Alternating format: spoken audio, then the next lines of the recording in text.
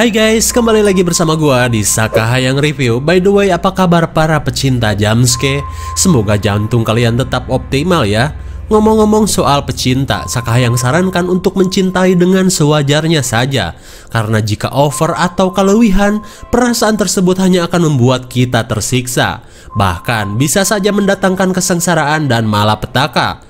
Seperti pada kesempatan kali ini, Saka yang akan mengabulkan request kalian untuk melanjutkan sequel film horor Turki kesayangan Anda yang berjudul Sicin 3 2016. Film ini menceritakan tentang kisah dari seorang pria yang bernama Sedat, di mana beberapa tahun ke belakang ia banyak mengalami keanehan dalam hidupnya. Tak cuman itu, keanehan lain ia dapatkan dari keluarga adiknya sendiri Hingga suatu ketika sosok jin meminta bantuan kepadanya melalui perantara seorang kang dukun. Nah lo, entah apa niat jin tersebut. Daripada penasaran dan malah bikin kalian lari ke kang dukun untuk mengetahuinya, mending kita langsung saja ke pembahasannya. Dan jika kalian suka dengan channel ini, seperti biasa silahkan subrek aja biar nggak ketinggalan video kang dukun lainnya dari Sakahayang. Film ini diawali oleh seorang pria yang bernama Sedat. Ia sedang menulis buku tentang riwayat hidupnya. Di buku tersebut, ia menceritakan pengalaman kelam yang terjadi tujuh tahun lalu. Ia pun mengira karena keajaiban Tuhanlah ia bisa selamat dari kutukan gelap yang pernah ia alami. Sedat memiliki adik perempuan yang bernama Kader. Ia selalu bermain bersama seorang temannya yang bernama Orhan. Hingga seiring berjalannya waktu, Orhan yang semakin dekat dengan Kader akhirnya menikah. Dan film kegilaan cinta pun baru dimulai. Kemudian Sin berada di sebuah pabrik. Terlihat Orhan yang merupakan seorang mandor sedang memarahi karyawannya karena si karyawan selalu udut ketika bekerja. Orhan akhirnya memecatnya. Karyawan itu pun memohon untuk bisa tetap bekerja. Akan tetapi Orhan gak peduli. Si karyawan malang itu pun pulang dengan kumis baplangnya. Kemudian, Sedat yang juga seorang karyawan mendatangi Orhan, di mana pada saat itu Sedat mengatakan bahwa besok ia akan pergi bersama Kader. Setelah obrolan tersebut, Sedat pun kembali ke tempat kerjanya. Singkat waktu, MLM pun tiba. Kali ini Sin berada di rumah Orhan. Terlihat pasangan serasi nan bahagia ini sedang makan malam. Kemudian mereka yang bete di rumah berniat untuk pergi keluar. Lalu Kader ingin pergi ke pohon cinta saat mereka masih pacaran dulu. Usulan tersebut jelas disambut baik pria bewok berhati pink ini. Singkat cerita, mereka berada di bawah pohon cinta. Terlihat mereka pun bahagia bebogohan di tempat yang menjadi saksi bisu perjalanan lope mereka sedari bocah. Lalu, Orhan mengatakan bahwa besok Sedat akan menjemput Kader jam 9 pagi. Kader pun berkata bahwa ia akan menebeng pergi ke bidan untuk memeriksakan diri. Mendengar kata bidan, Orhan jelas kaget. Apakah aku akan menjadi seorang bapac-bapac? Kader pun terlihat senang karena ia memang sedang hamil. Di sisi lain, karyawan yang tadi siang dipecat kini sudah tak punya harapan lagi. Apalagi ia takut jika ditagih debt kolektor kreditan motor Supranya. Lalu jalan terakhir yang ia pilih adalah bundir.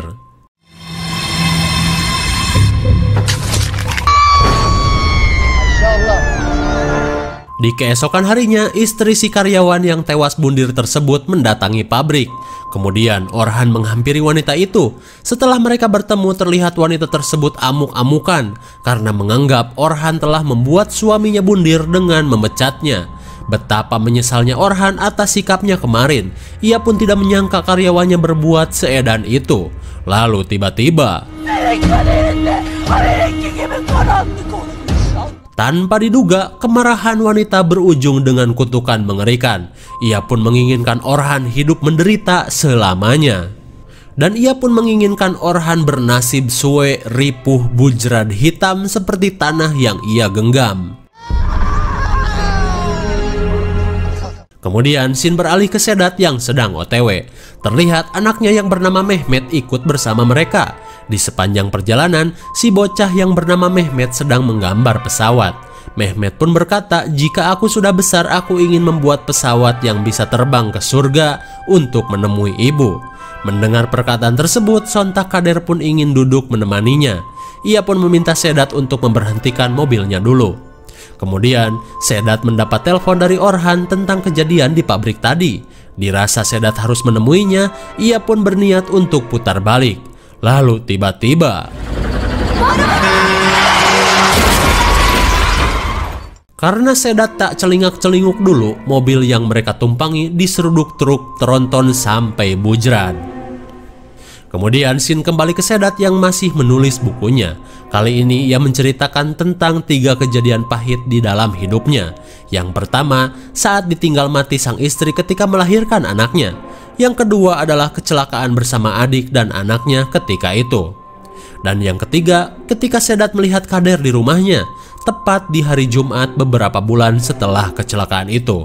Lalu seperti apa Kader di hari itu? Kita lanjutkan dulu filmnya ya. Kemudian Sin berada di Senin malam, beberapa bulan setelah kecelakaan. Ketika Kader sedang tertidur, Orhan cuma bisa menangis sambil mengenang masa-masa indahnya dulu. Lalu tiba-tiba...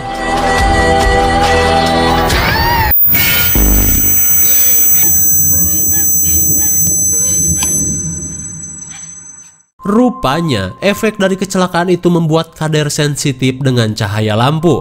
Kemudian, Orhan berusaha menggantinya dengan cahaya dari oncor jadul saja. Lalu, Orhan berusaha menenangkan Kader yang ketakutan. Terlebih Kader sering linglung dan amnesia. Kemudian, Sin beralih ke rumah Sedat. Di malam itu, ia berniat untuk berkunjung ke rumah Orhan. Ia pun meminta ibunya untuk menjaga Mehmet yang menjadi lumpuh dan bisu setelah kecelakaan itu. Singkat cerita, ketika berada di depan rumah adiknya, Orhan masih menyimpan kekesalan kepada Sedat. Rupanya ia masih belum bisa memaafkan Sedat yang membuat istrinya kecelakaan.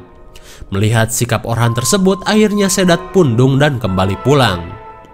Sesampainya di rumah, Sedat melihat keadaan anaknya yang sedang tertidur. Tapi tiba-tiba,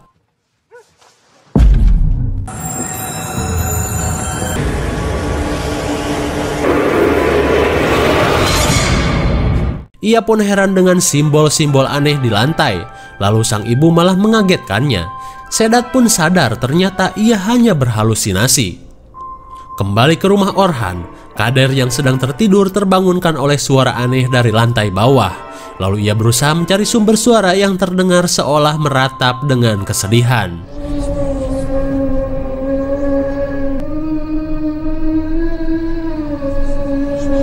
Lalu, ia merasa bahwa suara itu berasal dari sebuah ruangan.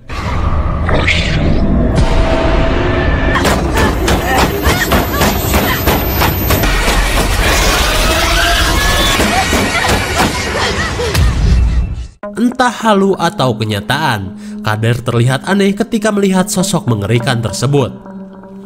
Sementara itu, Orhan meminta Kader untuk tidak masuk ke dalam ruangan tersebut Lalu Orhan membawa istrinya kembali ke kamar.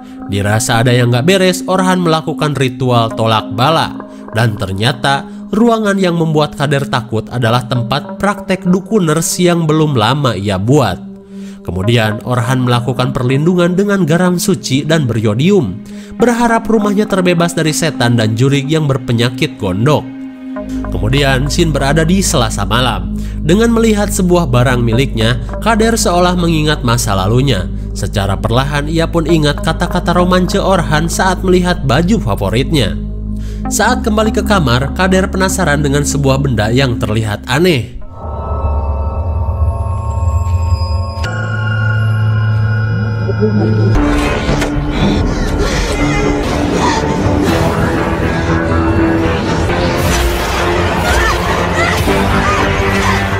Entah apa yang terjadi, benda tersebut membuat Kader menjadi marah. Ia pun terlihat mencari sesuatu. Tak lama kemudian, terlihat Orhan baru pulang kerja. Ketika akan masuk ke dalam kamar, Orhan kaget melihat suasana kamar sudah acak-acakan seperti pesawat pecah. Sementara itu, Kader hanya bisa terdiam sambil melihat sebuah foto. Kemudian Orhan mengingatkan kembali bahwa itu adalah orang tuaku. Lalu tiba-tiba Orhan mendengar suara aneh. Kemudian ia bergegas memeriksa keadaan.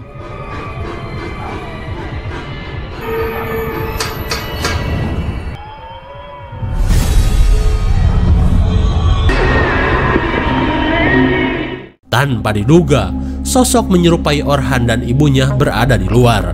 Lalu, ia melakukan perlindungan double dengan mengubur kambing hitam dan benda mistis agar iblis tidak lagi mengganggu keluarganya. Di saat itu pula, Sedat kembali mendatangi rumahnya.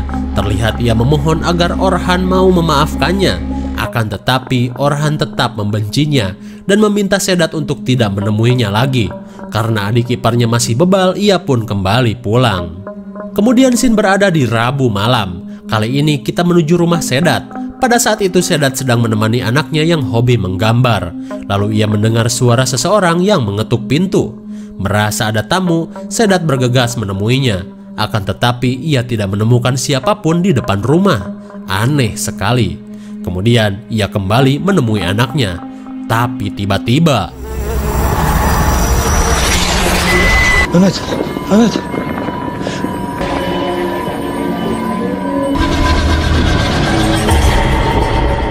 Betapa kagetnya Sedat saat melihat Mehmet berperilaku aneh. Sedat pun heran dengan gambar yang terlihat menyeramkan di dinding. Setelah kejadian aneh tersebut, Sedat berusaha menenangkan diri dengan smoking santuy di luar. Tak lama kemudian, sang ibu menghampirinya dan berkata, Dat, temuilah Kang Dukun yang bernama Faisal. Siapa tahu saja dia bisa membantumu. Terlihat Sedat pun marah dengan usulan ibunya karena ia pikir Mehmet hanya perlu ditemani saja, bukan mendatangi Kang Dukun. Lalu, saat ia kembali masuk rumah, Oh shit, terus yang tadi siapa?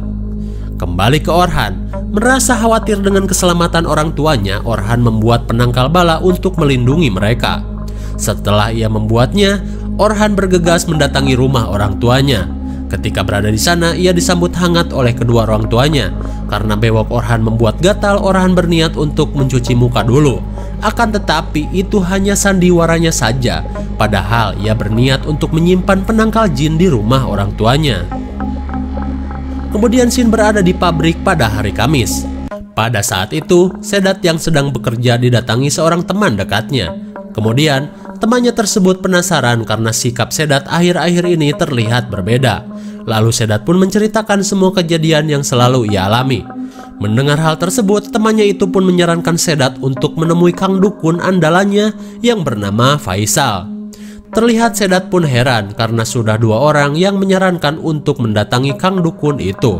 Setelah mendengar kehebatan Kang Dukun dari temannya, Sedat pun berniat untuk mendatanginya.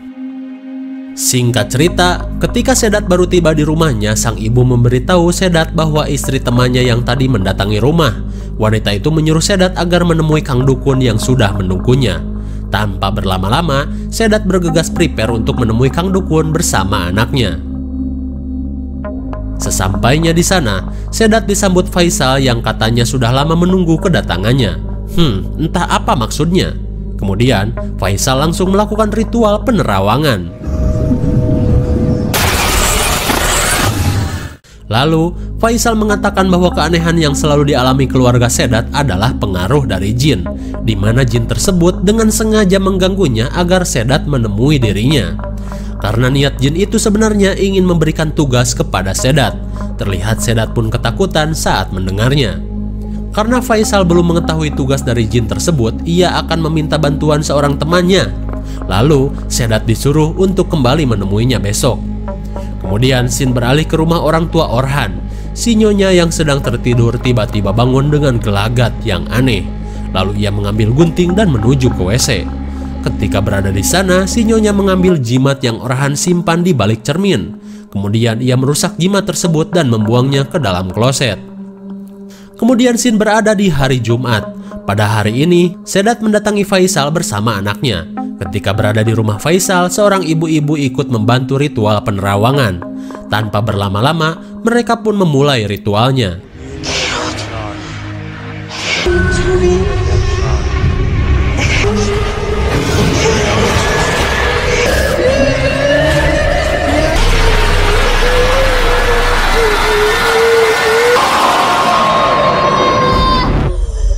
Setelah ritual tersebut, Faisal menyuruh Sedat untuk mendatangi rumah Kader karena Jin menyuruh Sedat untuk ke sana nanti malam.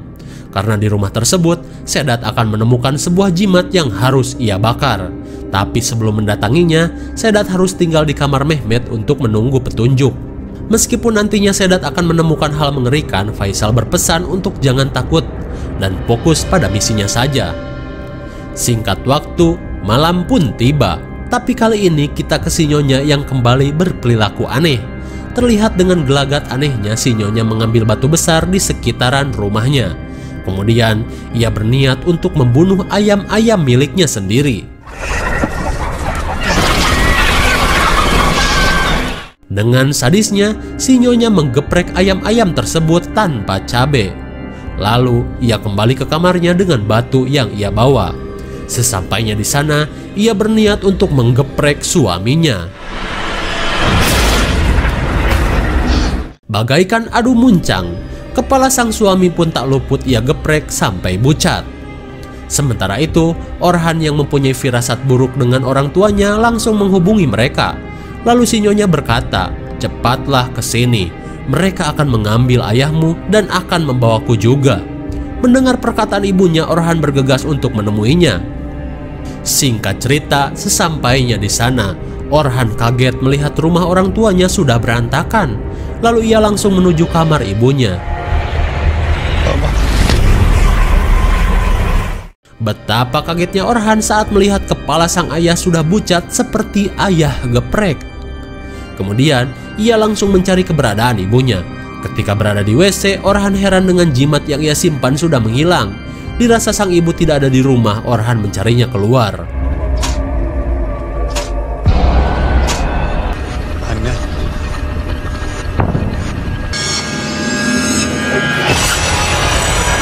Tanpa diduga, ibunya pun sudah tewas mengenaskan. Rupanya jin yang selalu mengganggu Orhan menginginkan kedua orang tuanya mati. Kemudian, Sin beralih ke rumah Sedat. Kali ini Sedat mengikuti perintah Faisal untuk tinggal di kamar Mehmet.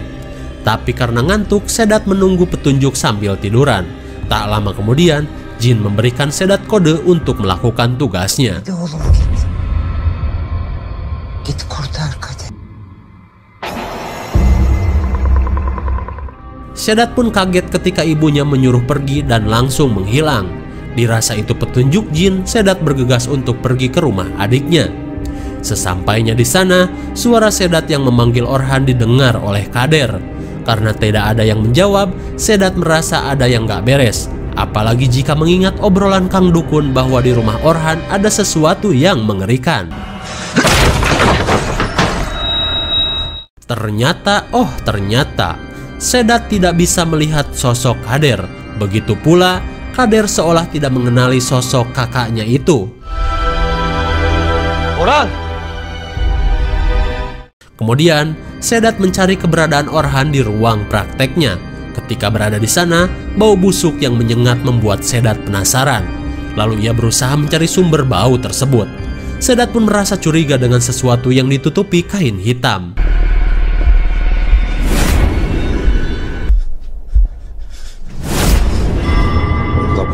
Akhirnya, ia menemukan jimat yang dikatakan si Kang Dukun Tea. Lalu, Sedat berusaha mengecek sesuatu yang seperti mayat itu.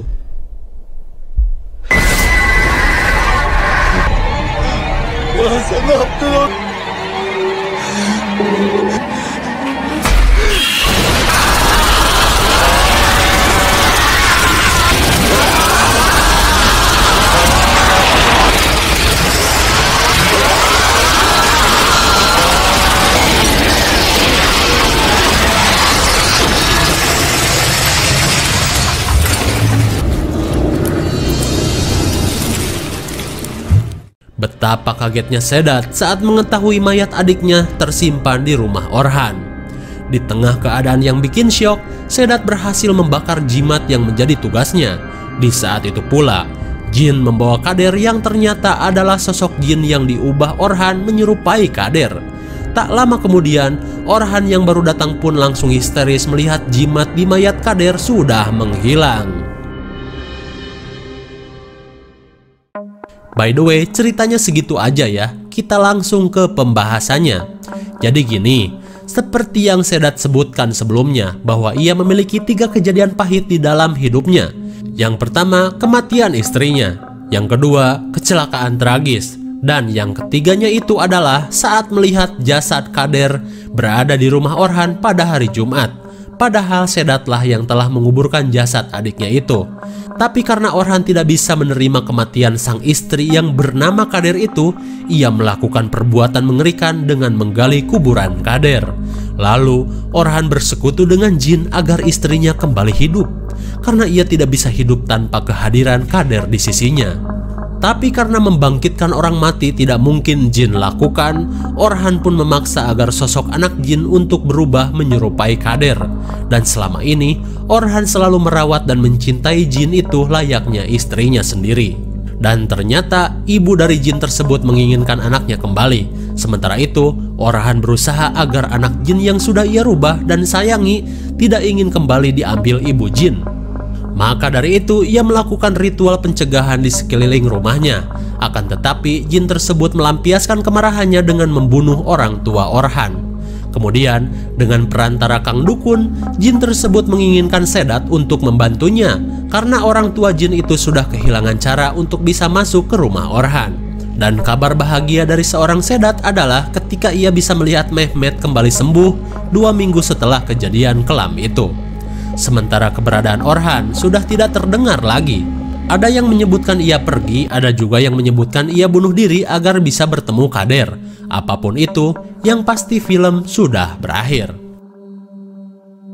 Bagaimana? Cukup jelas bukan? IMDb untuk film ini adalah 6,5 dan menurut Sakayang cocok diberi nilai 7,0 karena tak cuma cerita, sosok dari Jin yang mencari anaknya jelas membuat genre horor benar-benar terasa Terlebih karena kegilaan cinta yang begitu edan sampai-sampai nekat membuat mayat sang istri untuk dihidupkan kembali. Mungkin segini saja review dan pembahasan film Sicin 3 2016. Jangan lupa like, share, dan subscribe supaya kalian tidak ketinggalan jika ada video baru dari Sakahayang.